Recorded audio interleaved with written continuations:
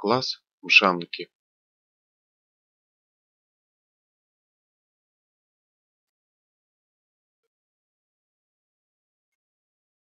Известно около четырех с половиной тысяч видов мшанок. Это морские и пресноводные, сидячие колониальные животные. Размеры отдельных особей не превышают 1-3 мм. При этом стелющиеся колонии мшанок могут занимать площадь более 1-2 метров.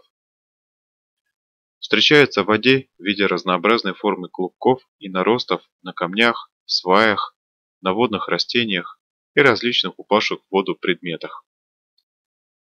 Эти наросты имеют очень невзрачный вид и бывают чаще всего буро-коричневого цвета. Они не обнаруживают при беглом осмотре никакого видимого движения.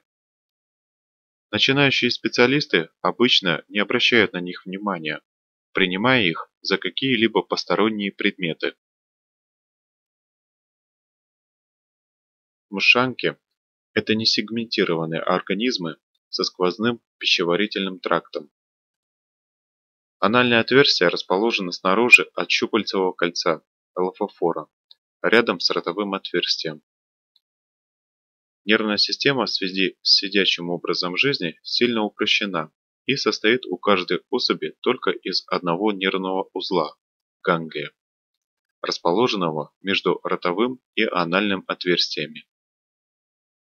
От него отходят нервы к щупальцам и ко всем органам особи. Единой нервной системы для всей колонии нет. Органами чувств являются щупальца. Дыхательный аппарат, кровеносная и выделительная системы у мшанок отсутствуют. Обмен газов происходит через щупальца. Кровью служит полостная жидкость, а выделительные функции выполняют особые клетки, находящиеся в ней. Вашему вниманию представлена схема строения пресноводной шанки.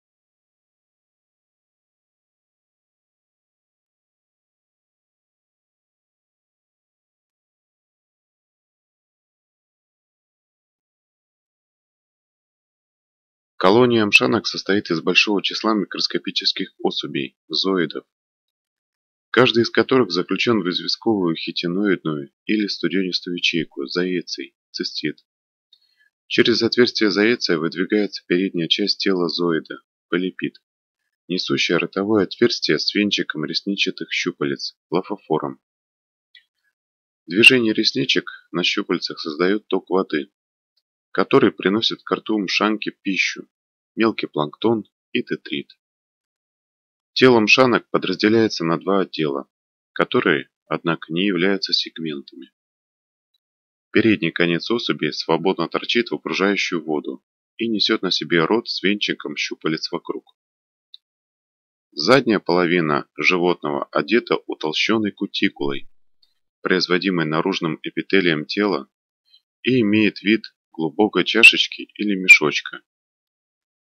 Эту часть животного нередко обозначают особым термином – цистит.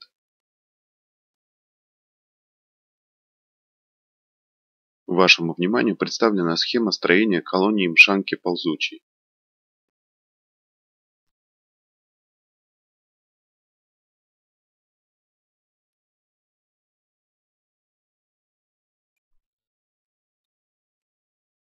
Втягивание совершается при помощи двух особых мускулов-ретракторов. Они находятся по бокам кишечника и передним концом прикрепляются изнутри к стенке тела полипида по сторонам рта, а задним концом к основанию цистида. При втягивании передней половины тела в цистит отдельные щупальца не вворачиваются, а весь венчик их уходит вглубь образующегося впячивания. Щупальца имеют вид длинных нежных выростов, которые заходят каналы целома и покрыты мерцательным эпителием. Они служат для собирания пищевых частиц и в качестве органов дыхания. В колониях морских мшанок зачастую наблюдается полиморфизм, то есть дифференциация особей по строению и функциям. Особи, кормящие остальную колонию, носят название автозоидов. Различают также авикулярий. Благодаря клювоподобным выростам они защищают колонию, отпугивая хищников. Вибракулярий – очистка колоний. Кинозоидов – укрепление колоний. Гонозоидов – функция полового размножения, то есть производят яйца и сперму. Наиболее интегрированные колонии по сути напоминают единый организм. Пища мшанок – это водные организмы, водоросли, включая диатомовые, простейшие, коловратки. В свою очередь мшанки служат кормом для морских ежей и рыб. Вашему вниманию как раз представлено фото рыбы, питающейся мшанкой.